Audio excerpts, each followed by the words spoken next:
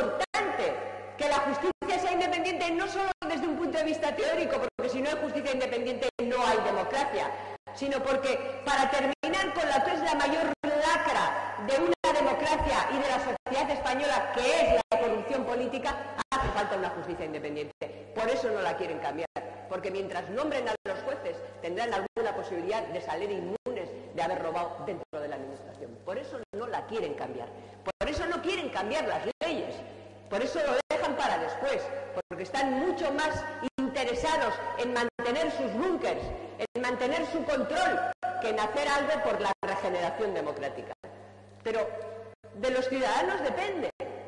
De los ciudadanos depende que esta sea una sociedad más decente, o sea, políticamente más sana, más democrática, con una democracia de más calidad.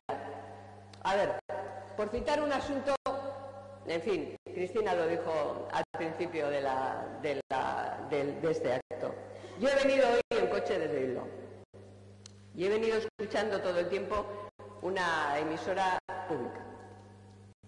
Y he escuchado, por tanto, tres informativos. El de las nueve, el de las diez y el de las once. Hoy, hace ocho años, que se produjo, como aquí se ha dicho, el atentado más, más grave de la historia de la democracia en Europa y, desde luego, de la historia de España. ¿Ustedes creen que los informativos han empezado hablando del aniversario del 11M? De los trenes, de los 192 víctimas, de los miles de personas que se han quedado, eh, en fin, traumatizadas para toda la vida. ¿No? Todas han empezado, todos los informativos han empezado hablando de las movilizaciones sindicales contra la reforma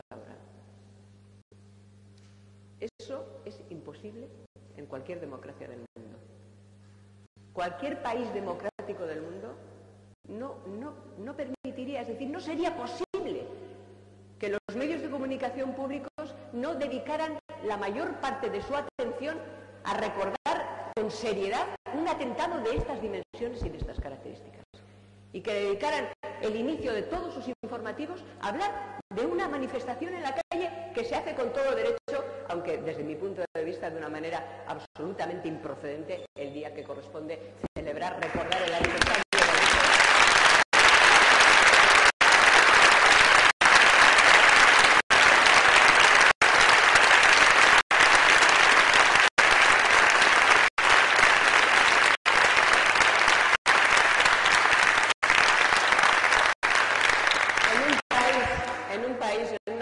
que se respete a sí mismo, no ocurriría tampoco que el gobierno de la nación no hubiera organizado un acto institucional de recuerdo a las víctimas.